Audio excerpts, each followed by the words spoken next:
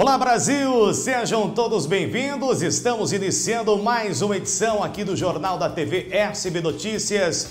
Nesta quarta-feira, dia 7 de julho de 2021. A partir de agora, o Nilson Araújo levando para você informações de muita prestação de serviço, não só de Santa Bárbara do Oeste, mas também de toda a nossa região, do Brasil, do mundo. Fiquem à vontade para você interagir aqui junto conosco, tá bom? É isso aí, você que faz o nosso jornal, o nosso programa acontecer. Tá certo, minha gente? Tá certo, meu povo? E vamos que vamos. Aqui é onde o filho chora e a mãe não vê, hein? Olha aí, o, o, o, essa madrugada fez frio. Vai fazer frio assim, não, rapaz? No Rio Grande do Sul, pelo amor de Deus, né?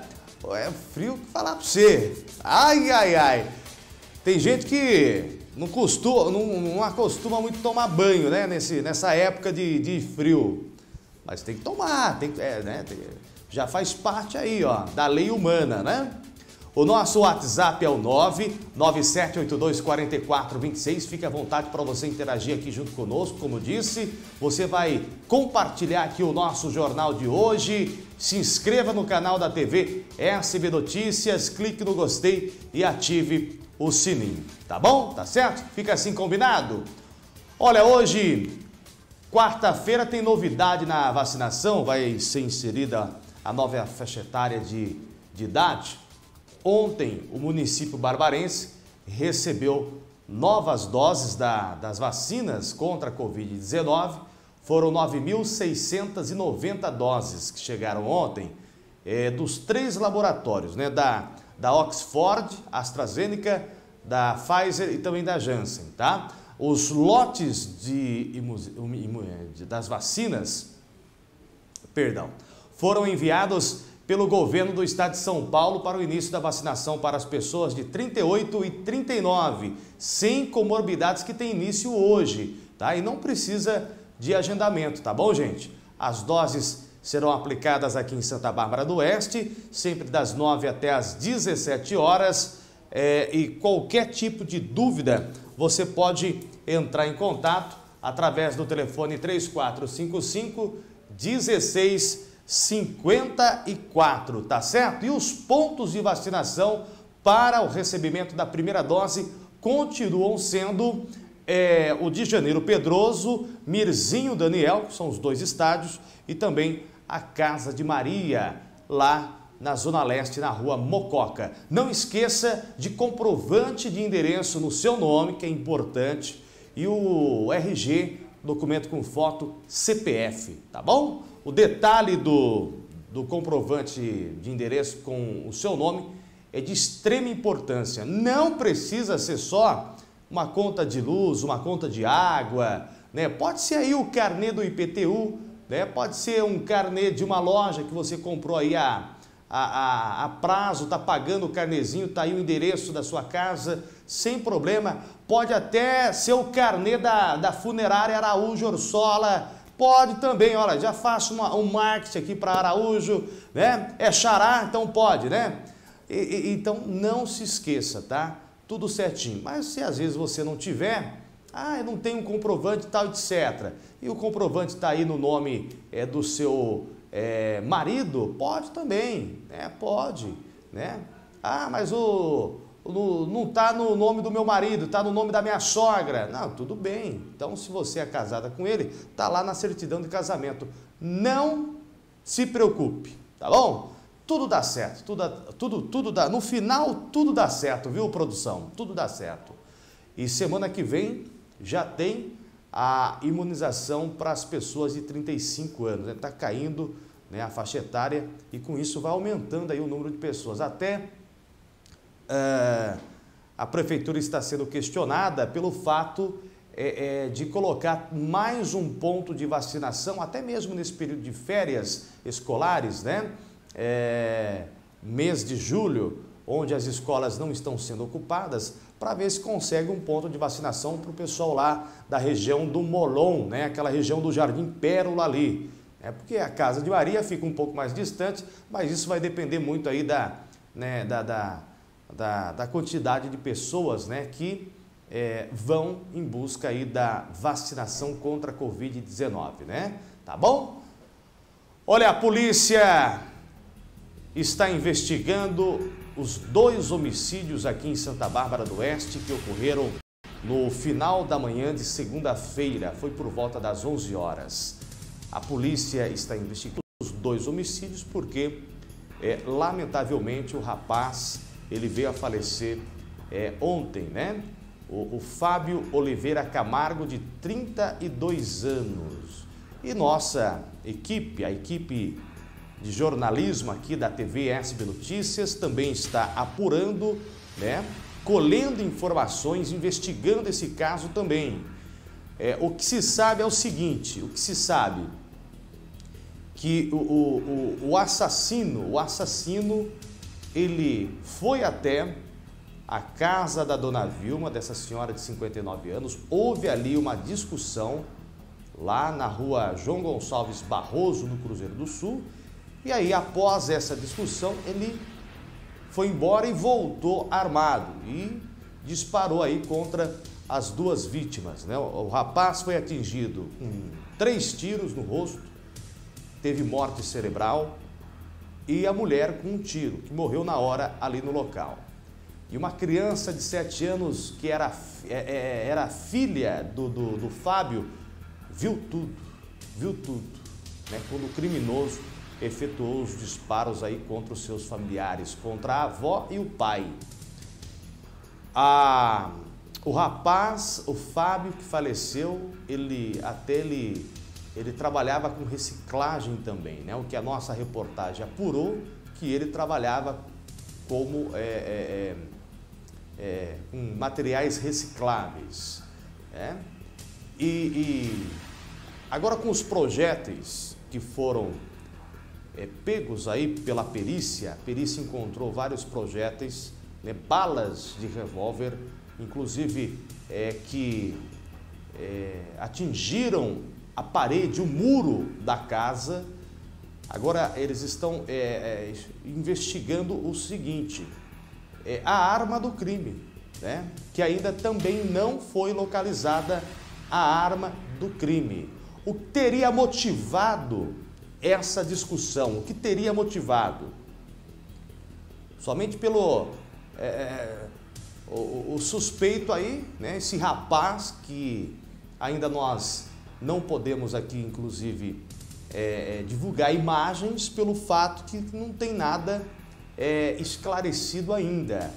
A polícia ainda trabalha é, na, como um, caso de, de, suspeita, né? Então, não há, a, claro que a polícia sabe, já, já tem pistas né, de quem seja né, o, o, o autor do, do, dos crimes, porque foram duas mortes a, a polícia trabalha em, em sigilo para tentar localizar. A partir do momento que a polícia divulgar imagens deste é, criminoso, nós vamos divulgar aqui no SB Notícias também.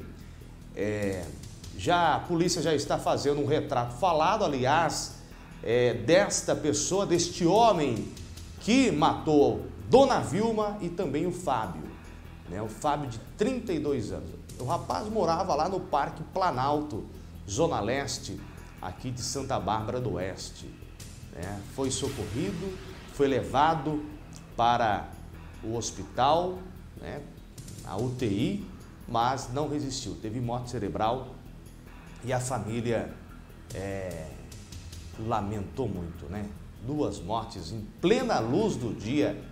Que país, que mundo é esse, né? Que mundo é esse? É, que mundo é esse?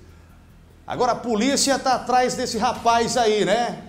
A polícia, eu, eu acredito muito no trabalho da polícia, os, os investigadores da polícia é, é, civil, né? Já tem nomes, só que nós não podemos, inclusive, divulgar nada, né? Para não atrapalhar o, o, o trabalho da polícia.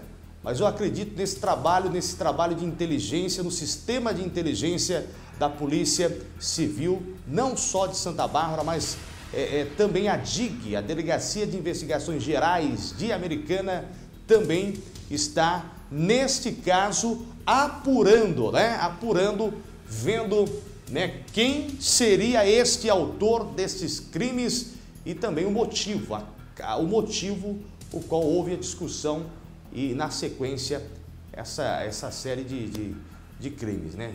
Dois homicídios numa segunda-feira, né? O rapaz teria passagem pela polícia, o autor, é a suspeita de que ele teria já sido, estava sendo procurado pela justiça.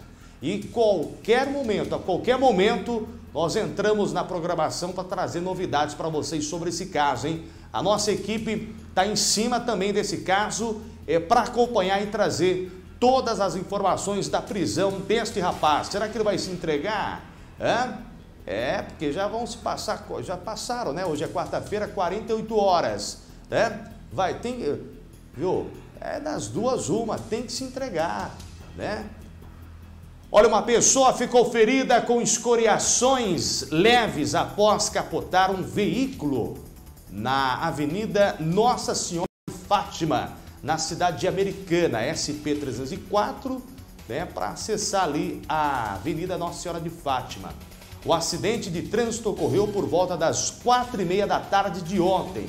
Corpo de Bombeiros foi que atendeu a esta ocorrência e uma mulher, uma motorista de aproximadamente 40 anos perdeu o controle de direção na curva de acesso à avenida e provocou o capotamento do veículo. Ela foi socorrida pelo resgate e foi levada até o Hospital Municipal Dr. Valdemar Tebaldi, em Americana, né? Olha o carro como é que ficou, hein? de rodas pro ar. Capotou e ficou de rodas pro ar aí esse carro da mulher. É, escoriações leves e agora ela está sendo acompanhada, monitorada no Hospital Dr. Valdemar Tebaldi. Bom, mais uma vez eu quero lembrar você que a vacinação hoje para os públicos de 38 e 39 anos, tá bom? Documento em mãos, tá? Documento em mãos, tá certo?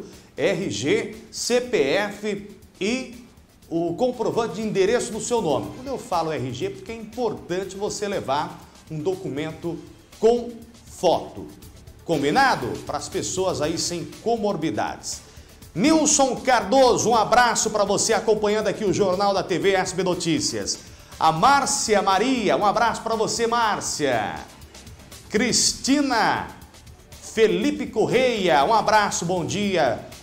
Vilma Souza, um abraço para vocês aí, tá? Todos os nossos bairros, você que nos acompanha e manda mensagens aqui, né, para o nosso jornal, tanto pelo Facebook como também pelo YouTube, né? Fala aí o nome do seu, do seu bairro, né? Onde você está assistindo, acompanhando aqui o Jornal da TV SB Notícias. Vamos falar com o Edson, é isso? Tá preparado? É saúde, saúde, bem-estar. Você que anda aí é, é cansado, nesse estresse do dia a dia, né? imunidade está baixa, né? a imunidade tem que estar tá em alta, né? para se proteger até do Covid, né, Edson? Nilson, eu tenho uma dica especial para quem está acompanhando aqui o jornal, chama-se Creme Risotex, um tratamento exclusivo para você que quer eliminar as manchas, mancha do sol, mancha da gravidez, aquela mancha senil que vem na melhor idade, incomoda, né? denuncia a sua idade tem gente que passa maquiagem até nas mãos para tentar esconder, mas o creme Risotex atua no clareamento, ele conta com a nanovitamina C, que vai deixando a sua pele com uma coloração uniforme, linda, rejuvenesce, diminui a sua idade e ainda diminui as rugas e as marcas de expressão. Anota o telefone 0800 942 0455. Esse é o número do Risotex 0800 942 0455. Liga lá, tem presente especial para você. Leva o colágeno hidrolisado em cápsula para manter a firmeza e a elasticidade da sua pele, mais a cápsula de vitamina C. Anotou o telefone? 0800 942 0455, Nilson. É isso aí, Edson. É o creme Risotex, né? Isso, para proteger sua pele ainda tem o colágeno, né, gente? É isso aí. Ligue agora mesmo, né? O Nilson Araújo assina embaixo o que o Edson disse. Obrigado pelo carinho, fiquem todos com Deus. Amanhã a gente volta, amanhã quinta-feira. Uma ótima quarta para você, tá bom? Um ótimo dia e Conte conosco. Lembre-se, mexeu com você, mexeu comigo. Tchau, aqui tem café no bolo. É, Ratinho?